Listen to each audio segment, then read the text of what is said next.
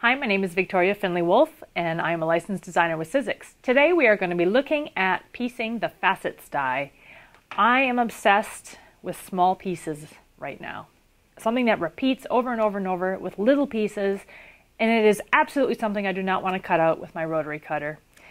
Hence, having a great die where you can do some not quite mini piecing, but definitely with some small pieces and have a lot of different options for layout, which is always something I'm looking for when I'm playing with my Sizzix dies. So let's look at cutting out some shapes and then I will show you all the different options that you can do with this die. So we are using the Big Shot Plus machine today, but you can use your Big Shot, Big Shot Plus and the Big Shot Pro with this die. Okay, so I have my cutting pad on the bottom. Go ahead and put the other one on the top. We can cut up to eight layers at a time, which I really like. You'll notice today I'm using solids because that way it's not going to matter if it's right sides up or not. I can use it, the solids and make a parts department. I'm going to cut a bunch of layers of fabrics out, a whole bunch of pieces so that I have a lot of different options to play with because that's what it's all about. You should be able to be playing and having some fun with all of your fabric. Go ahead and run that through the machine. What you're going to notice on the die, I'm going to pick some of these little shapes off so that you can see each of these. We've got two of the little rectangles. We have these little shapes, the little half square triangles, but there's two different ones, okay? And I'm going to explain the difference between those. There you can see all my different little shapes. Okay. So on the little triangles, Two of the little sections have a dog ear that's cut at an angle, and the other two are straight up on the sides. So that is for you to, so that you know where to put your pieces together. And I'm going to show you that here on, on the, this little house shape that happens on the end of the block. When we're doing for construction, the piece that has the straight sides goes on first and is going to line up right on top of each other. So when you have all those little triangles and you're like, where does this one go? We know that the very first piece is always going to line up straight on the sides. Just sewing a quarter inch, I can zip that all the way across my block. Now that I've sewn that all the way across, I'm just going to press my seam allowances to the dark side of the fabric. Now this is where these two little triangles that have more of an angle on their dog ear, we want that because now when we lay this piece right on top, look at how nicely that fits together. That angle matches up perfectly, so you will have perfect construction.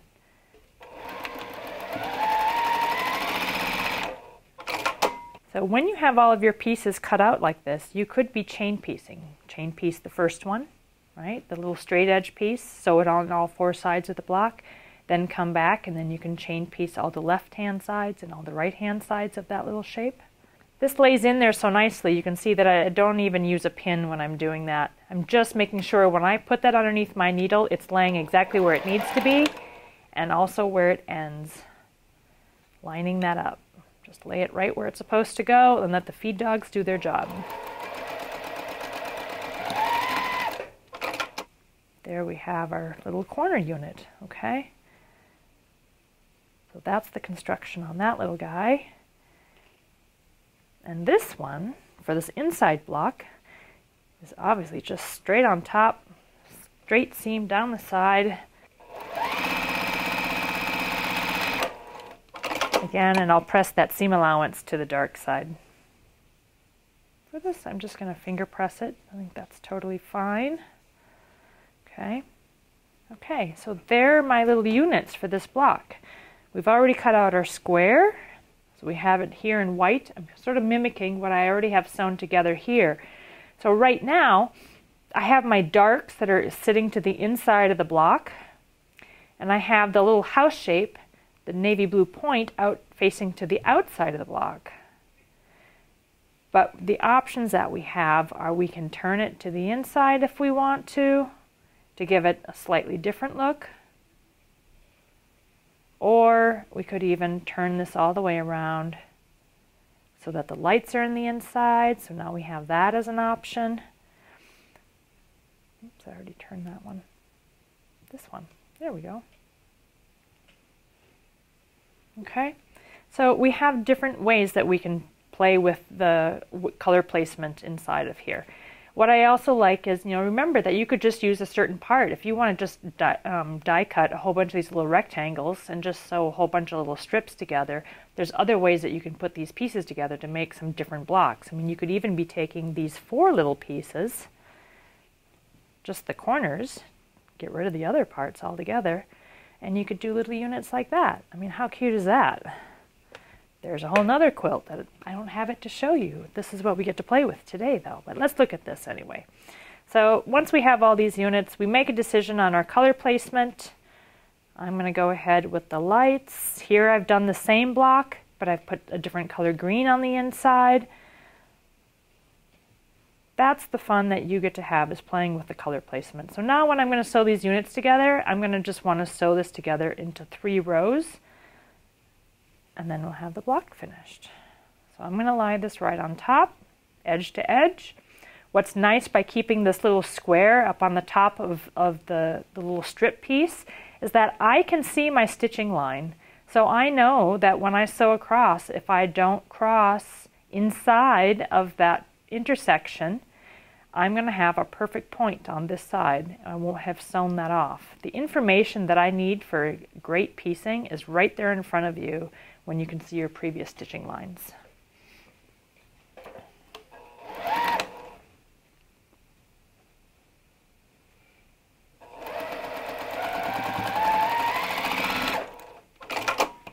Okay, so there's the first one sewn off. So because I could keep my eye on where that stitching line is to cross right at that point, that means when I open this up, I have a perfect point that's landing right on that seam all the information I need for accurate piecing is right there, and that's exactly what I love about my Sizzix dies.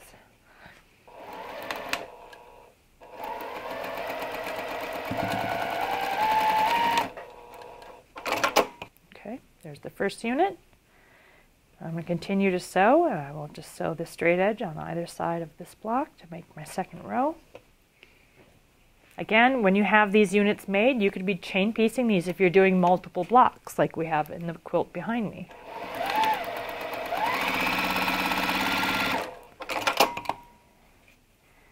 Make all your rows. Make sure you're watching your color placement so that you don't mistakenly turn around the way that the block should be lying.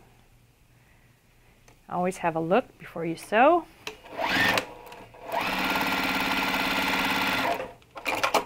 On this row, if I'm using a light color fabric on the inside, I'm going to want to make sure that my seam allowances are pressed to the outside of the block. If I'm pressing it this way, I'm going to get shadowing underneath that light fabric. So always press those seams to the dark side. If I do that with that center block, then I know that on the opposite, I will press them the opposite direction on the first row. So that way they're nesting together when I'm going to sew the rows together. So I have my three rows already sewn together. Now we're going to look at putting those units together. When we have uh, a matching seam here, we're going to lay this right on top of each other. Again, when I pin, I like to put the pin through at a quarter inch directly through the seam one at a time because that way I know the seam is going to live exactly where I put the pin in it. I don't have time for seam rippers. I like to do it once and call it a day. So I'm going to put my pin through. I do this on just about everything that I piece. That is also a way for me to check if I'm still sewing a quarter inch. I don't want to see that kind of driving when you're sewing your seams together. So keeping an eye on the quarter inch means that when I'm sewing along, again, I have the information that I need. I have my previous stitching on those points so that I know I'm not going to sew those off. And I also know to aim my needle for where the pin's going into the fabric. That's just to make sure I'm still sewing a nice quarter inch all the way across the top.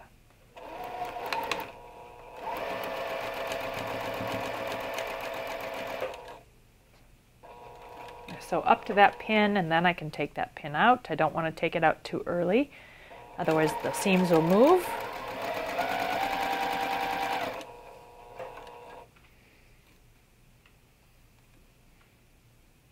Making sure my end is lined up as well. I don't want to forget about my beginning and my end. Those fabrics should always be lined up. Okay, there's the first side. I will press those seam allowances to the outside of the block. Again, I don't want to have the shadowing under my light fabric. And then I will go ahead and I will pin and do the same thing to the opposite side.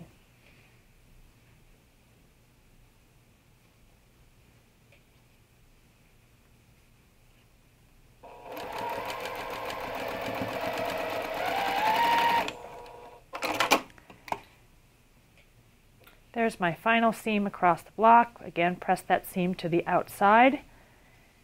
And now I have a adorable little matching block where I can put all of those together. I can start looking for secondary patterns that are going to happen in there, depending on if you've switched your placement of your colors, whether your light or dark is in the inside, whether your outside blocks are pointing to the inside or the outside. You can make those minor adjustments and get a whole pile of different blocks that you can play with. Okay, so let's have a look at the quilt. Actually, let's look at this quickly. This is the same block that we were just piecing together with the little uh, house shapes pointing to the outside and you can see we were just having some fun. There you can see what happens with your four patches in the corners where you actually make that little cross block. Um, but having some fun with your color placement so that you can do some different placement and play on color just by choosing different fabrics and having a really scrappy outcome. I love that. One of the other projects, the one hanging behind me, I wanted to show you because this is a six and a half inch block, which also works with my diamond sampler block. Now, although this is a rectangle and this is a square block, doesn't matter because the width of the block is the same, which means that I can start dropping in many of my different Sizzix dies together. Um, some of the other dies in the Sizzix collection that are also based on a six and a half inch block, you could be putting and making a really nice sampler quilt out of all the different possibilities. So just by using the diamond sampler block and the facets block and interchanging on the color palette, again, ease of construction because of the dog ears already being uh, chopped off using your die. You've got perfect piecing and you can make some really fun and interesting yet complicated looking blocks and have a lot of fun with that.